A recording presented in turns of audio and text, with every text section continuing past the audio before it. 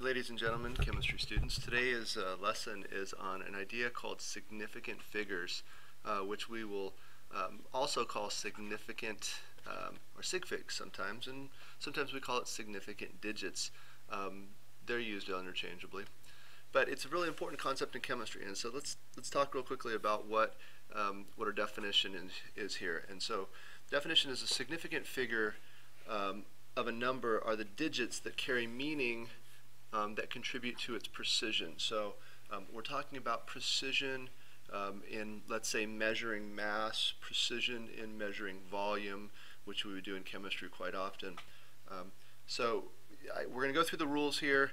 They might not make a lot of sense to start off with, with the reasons why, but we'll talk more and more and more about why we use significant figures or sig figs in chemistry when we're doing calculations, which is coming soon here once we get into ideas called the mole. Um, so here's the rules, and you should be jotting these rules down. So rule number one, all digits that are not zeros we consider significant. And so scroll down a little bit here. Give you an example here. So if we have a number like, let's say we took the mass of um, an object on uh, our balance and it was 25.3, um, we could say that every one of these these um, digits, the 2, the 5, and the 3 are not zeros. So if they are not zeros, what that means is we would say that here we have three significant figures, or sig figs, three sig figs. So anytime we have values that are not zeros, they're automatically significant, and we count them um, once again to determine our precision in calculations. Okay, so that's the, the only rule that deals with um, values that are not zero. All the rest of the rules pretty much deal with um, uh, values that are zeros. So the next rule, rule number two, make sure you're jotting this down. Zeros that are captured between non-zeros, these are definitely significant. And so I'll give you, give you a couple examples here of a, num a zero that's captured.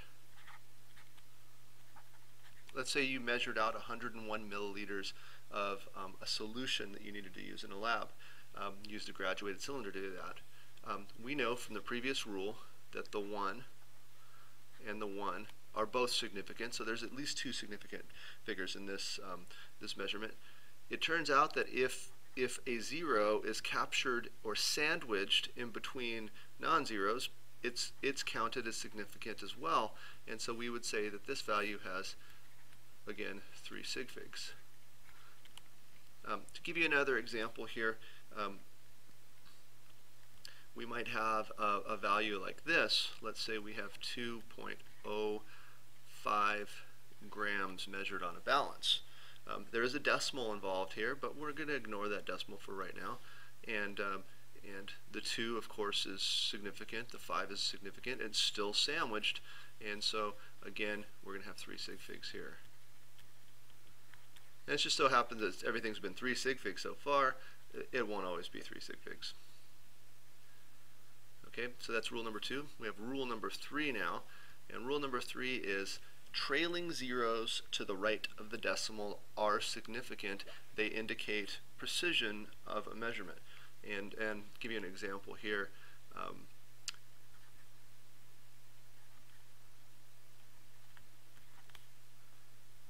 if we had a, a pretty precise balance, we could measure out 25.30 grams of something. So the first rule again is going to apply here. Um, the two we know, the five we know, and the three we know are all significant. Um, because this zero is trailing, it's at the end, and because it's to the right of the decimal, and it is to the right of decimal and trailing, we say that it is significant, it, it, um, it is counted, so this value would have 4 sig figs. Four sig figs there. Okay. Um, likewise, we'll give you another example here too. If we had, let's say, um,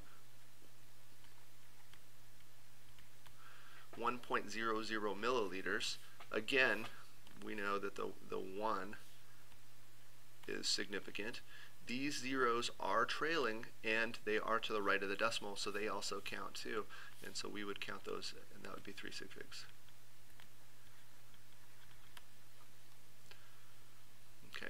Our next rule Rule number four, which is the, the, kind of the toughest rule for students to deal with, is, is leading zeros. These are just placeholders. They are not significant. So in very small values, let's say we have a value of 0.0025 grams, real precise uh, balance we have there. Um, leading zeros. So we know that the two,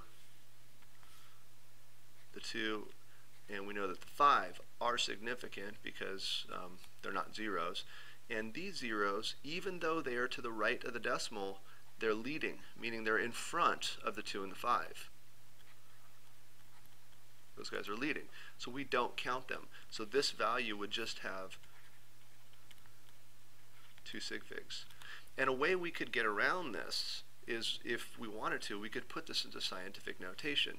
So if we put this into scientific notation correctly, it would be 2.5 times 10 to the negative third grams and that eliminates those leading zeros and now we don't have to worry about them.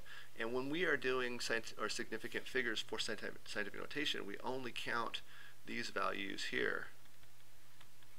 We don't worry about the 10 to the negative third with respect to counting sig figs. We still have to write it, but we don't use it um, as a determination of number of sig figs. Um, another one, this is the our very last one, is kind of an easy one.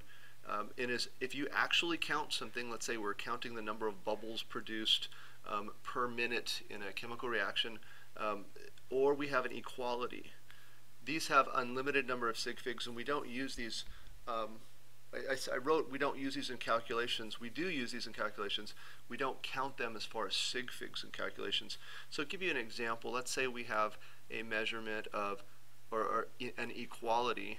An equality is anything when two values are equal to each other. So let's say we have um, one kilogram is equal to 1,000 grams. Um, that would be considered an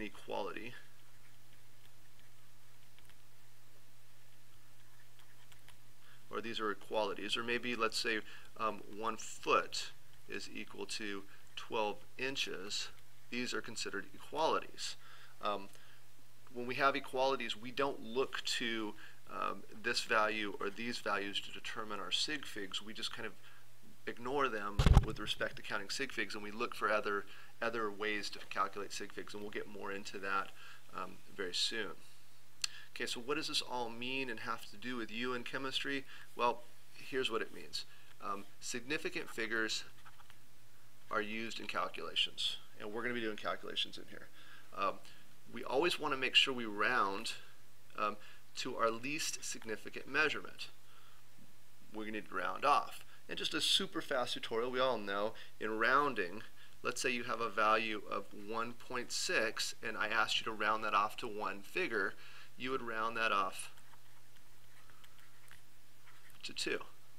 Or if you had the value of 1.49 and we wanted you to round we wanted you to round, let's say we're going to round here to two, two digits, because this 9 is above 5, this would be rounded off to 1.5 if we were going to two digits. Okay, so we're always going to want to round. So here's a, here's a practical application of, of rounding um, and how we use this, and you're going to use this in your practice today. So it says determine, calculate the density of a metal sample that has a mass of 12.4 grams and a volume of 20.3 milliliters. So the formula that we're going to use is density equals mass divided by volume, something that we did much earlier this year. Now, the first thing we need to do is we need to determine, well, we're going to plug these values in. We'll do that in a moment. Actually, let's go ahead and do that right now. So we're going to plug these values in, and so we have 12.04 grams. There's our mass. And over here we had our volume of 20.3 milliliters. And so this thing is this is set up so that we can divide. Okay, so I, I punched this into my calculator and I came up with a small number. I came up with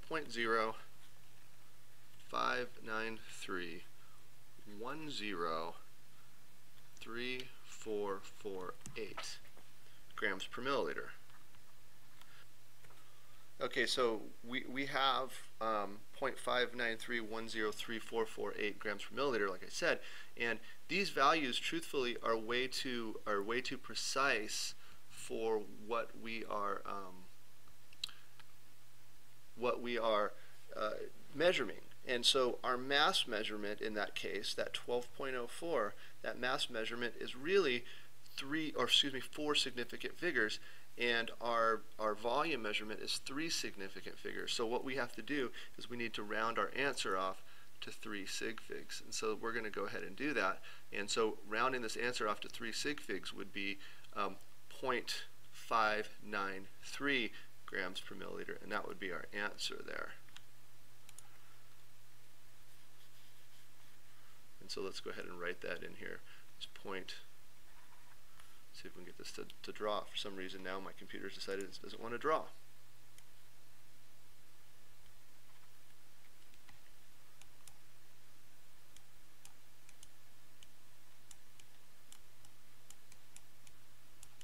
and uh, that, that would be our answer there, 0.593. Okay, so there's going to be some practice problems that go along with this video. Thank you very much. Have a good day.